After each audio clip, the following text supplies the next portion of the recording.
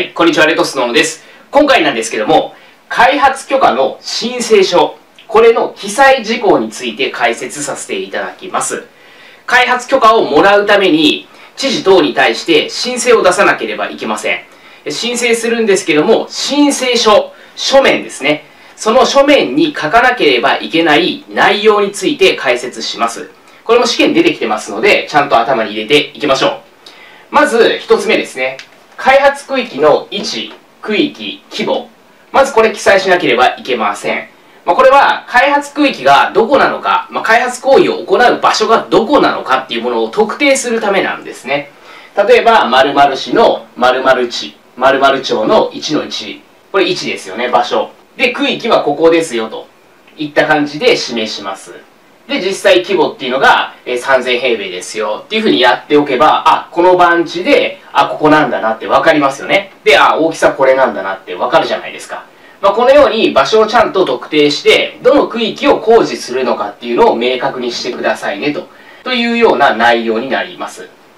で、二つ目ですね。予定建築物等の用途。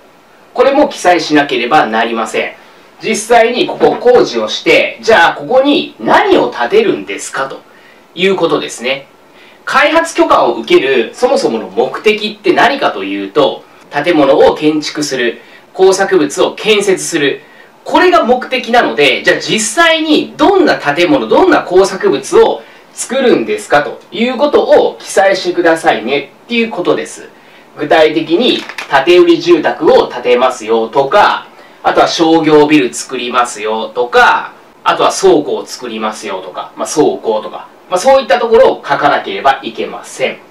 で、3つ目ですね。設計です。設計。まあ、これすごくざっくりとした内容なんですけども、まあ、実際、建築物の敷地、何平米なのかだったりとか、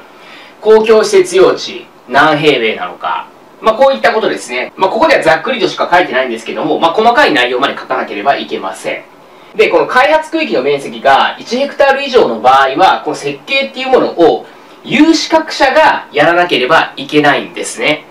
つまり、一級建築士だったりとか、まあ、そういった資格を持った人がこれ設計しなければいけません。これ逆を言うと、1ヘクタール未満の、まあ、比較的小さい、えー、開発工事については、これ設計は有資格者じゃなくても大丈夫です。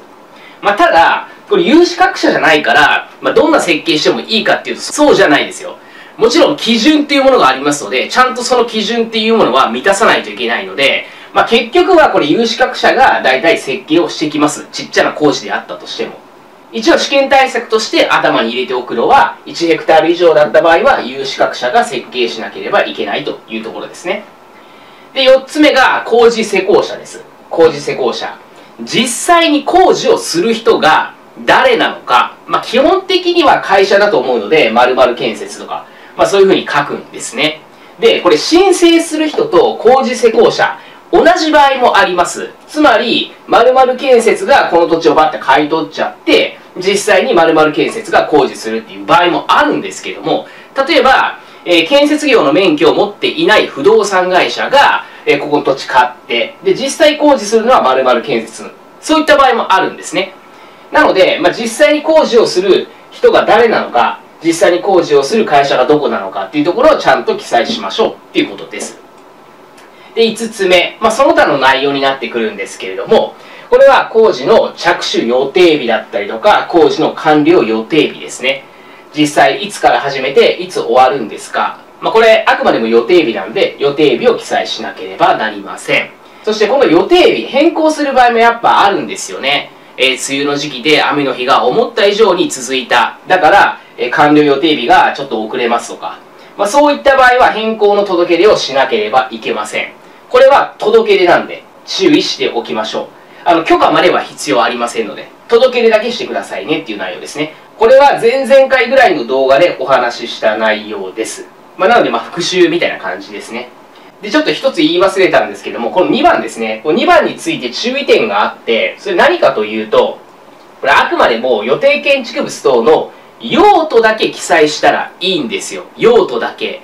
つまり、具体的に何階建ての建物を建てるのかだったりとか、構造は木造なのか、鉄筋コンクリートなのか、そういったとこまでは書かなくてもいいんですね。あくまでもこれ用途だけでいいので、もう住宅とかね、えー、マンションとか、ビルとか、まあそういった形でもいいです。まあちょっと今回はね、細かく建売り住宅とかって書いてあるんですけども、まあそれより具体的な2階建てとか3階建てとか、えー、鉄筋コンクリートとか、まあそういったものは書かなくていいので、その点は注意していただければと思います。